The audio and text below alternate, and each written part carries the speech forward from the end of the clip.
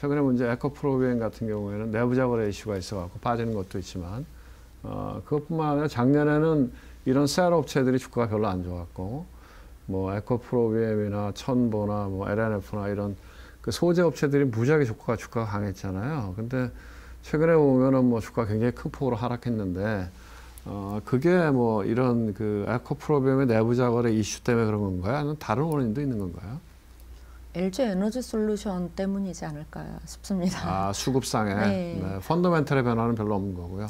우선은 배터리 소재 전반적으로 좀 네. 말씀을 드리면은 펀더멘털 자체에 문제가 생긴 곳은 뭐 지금 말씀하신 뭐 에코프로비엠은 대표이사 건뭐 이런 부분 음. 네. 때문이지 기존에 있었던 뭐 하이니켈에 대한 기술력이라든지 아니면 그들이 가고자 하는 뭐 이익률이 높아지는 수직 계열화 네. 측면이라든지 전혀 변경된 부분은 없습니다. 근데 어쨌든 어, 대표이사 리스크도 결국에는 그 회사의 리스크이기 때문에 그 부분은 이제 천천히 봐야 될 부분이고 다만 이제 배터리 소재 전반적으로 봤을 때에는 네. 크게 배터리 소재들이 경쟁력이 뭐 어, 좀 중국 대비해서 떨어졌다든지 아니면은 네. 뭐 올해부터는 어, 크게 뭐 이익률이 안 좋아질 거라든지 네. 이런 이슈는 전혀 없습니다. 음. 그래서 제가 보기에는 시장 전반적으로 LG 에너지 솔루션 쪽으로의 자금 쏠림 현상이 음. 이렇게, 워낙 네. 강했다라고 그, 보고 그 있습니다. 섹터 안에서 LG 에너지 솔루션으로 자금 배분이 이렇게 넘어가는 과정이다 이렇게 보시는 거네요. 네. 네.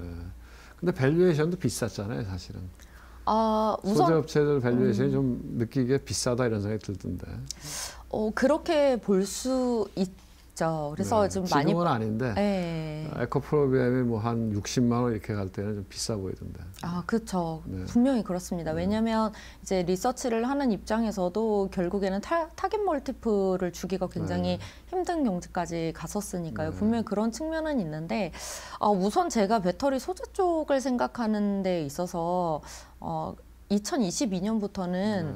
어, 이 밸류에 대한 양극화 현상이 더 심해질 거라고 저는 보고 음. 있습니다. 그러니까 고밸류를 받는 기업들은 점점 더 고밸류를 받을 네. 것이고 저밸류를 받는 기업들은 음. 점점 더 저평가를 받을 네. 수밖에 없는 이런 흐름으로 가는 게 오히려 작년보다도 올해가 더 심해질 음. 거라고 보고 있습니다. 네.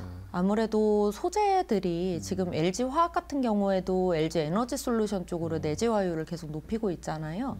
그런 이유는 아무래도 진입 장벽이 좀 낮아진 소재들이 많다라든지 음. 아니면은 셀 기업들 쪽 에서 단가 압력을 줄 만한 경제 효율화 작업이 완료된 이런 소재들이 많아졌다 보니까 일정 부분 저렴한 소재를 사용하고 싶은 이런 소재들 같은 경우에는 중국 쪽으로 패러다임이 좀 많이 넘어갈 여지가 있습니다. 그래서 오히려 내재화율을 늘리는 쪽이 진입 장벽이 좀 낮아진 소재들은 어, 그쪽으로 이제 투자 포인트를 잡는 게 좋으실 것 같고 어, 고밸류를 받는 기업들은 여전히 기술에 대한 부분에 프리미엄을 받을 수 있다라는 측면이 있고요. 어, 대부분 소재 기업들이 단가 압력을 받는 어, 측면이 있다면 어, 이 프리미엄을 받을 수 있는 기업들은 어, 단가 압력을 받지 않는다는 측면. 그로 인해서 이익률을 유지할 수 있다라는 측면이 소재들별로 극명하게 나뉘고 있습니다. 그래서 그런 흐름들이 또 심지어 빠르기 때문에 그런 양극화 현상이 좀 심화되지 않을까 이렇게 보고 있습니다. 그러면은 그 소재 업체 중에서 어떤 기업들이 거기에 해당되는 건가요?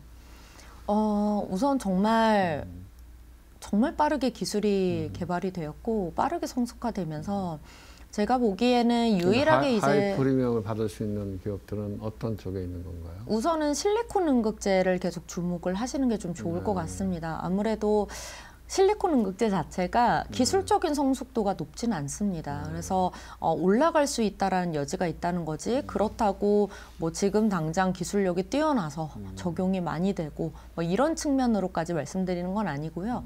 다만 지금 웬만한 다른 소재들 같은 경우에는 기술적으로 이론적인 한계에 다 도달을 했습니다. 아. 네, 많이 그- 발전돼 있다는 얘기네요. 아, 맞습니다. 이제 더 갈 건 없다라는 음. 측면이기 때문에 이제 뭐 예를 들어서 양극재도 안정성 위주 음. 아니면은 뭐 이제 가격 경쟁력 뭐 이런 측면으로 가야 돼 이익률이 높아지는 측면 음. 이런 측면으로 가야 되기 때문에 기술만 온전히 보면서 음. 앞으로 프리미엄을 계속 받을 수 있는 걸 본다면 실리콘 응급제 정도 음. 남아 있다라고 저는 보고 있습니다. 그래요? 어떤 기업인가요? 그런 걸 만드는 회사들은? 어, 우선 사, 실뭐 종목 이야기를 네. 별로 말씀드리고 싶지는 않은데 어, 국내에 있는 실리콘 네. 음극재 대표적인 기업은 어, 대주전자재료나 이제 나노신 소재 이런 기업들이 좀 있습니다.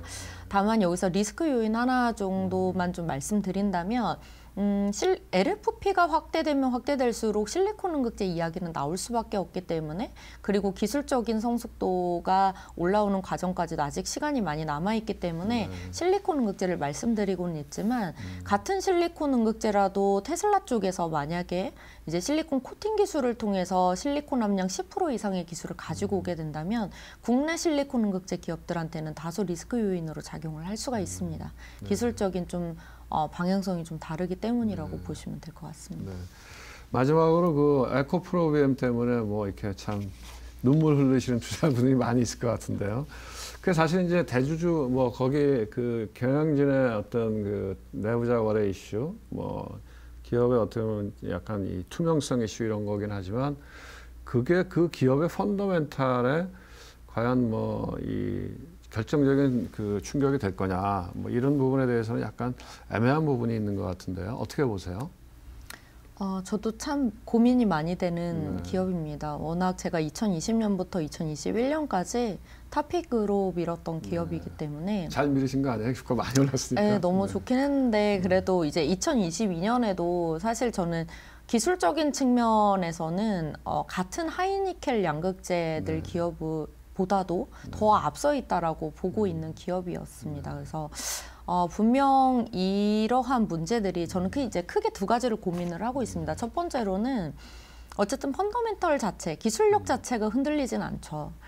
그래서 어, 대체할 수 있을 만한 기업이 사실 없기는 합니다. 그래서 지금 현재 이런 이슈가 있었을 때 추가적으로 수주가 계속 들어올 수 있느냐에 대한 문제들도 다들 고민 많이 하시는데 사실 대체를 할 수 있다면 일본 기업 정도 있을까? 그렇지만 가격이 이제 비싸겠죠. 이런 측면이 있기 때문에 어, 다소 좀 어, 그런 부분은 제한적으로 보이기는 합니다.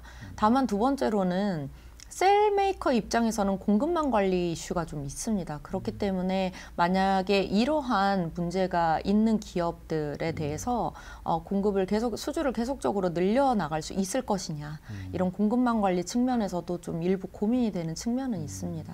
그래서 어, 우선 제가 한 가지 그냥 기술적인 부분으로만 말씀드린다면 대체할 수 있는 기업은 없습니다. 음. 그래서 일본 정도 아까 말씀드렸듯이 그거를 제외하고는 없기 때문에 어, 우선은 이선, 이런 부분들이 좀 해결된다면 조금 더 좋은 쪽으로 갈 수 있지 않을까라고는 보고 있습니다. 하지만 조금은 저도 더 업데이트를 해야 되지 않을까라고 네. 보고는 있습니다. 네. 어쨌든 그 지배 구조의 변화가 있겠죠. 지금 상태로 가기는 어려울 것 같고. 네. 그 SK 이노베이션에서 대량 수주 받은 거 그거는 그냥 계속 진행이 되는 건가요? 진행이 될 수밖에 없습니다. 아? 사실 네. 같은 아까도 말씀드렸지만 같은 하이니켈 양극재라고 하더라도 네. 도핑 기술부터 시작해서 전반적인 기술적인 차이가 네. 꽤나 큽니다. 네. 그래서 안정적으로 지금까지도 양극재 quality가 워낙 좋았었기 때문에 네. 그 부분은 계속 진행될 것으로 보이고 네. 있습니다. 알겠습니다. 그 참 저희가 이해할 수 없는 일이 벌어진 것 같아요. 그럴 수가 그게 참 그렇게 큰 기업에서 그런 일이 벌어진다는 게 참 아직까지 우리나라 자본시장에 좀 문제가 있다 이런 생각이 드네요.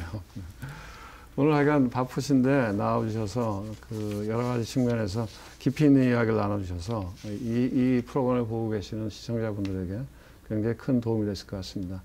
아, 바쁘신데 나와주셔서 정말 고맙습니다. 네, 감사합니다. 감사합니다.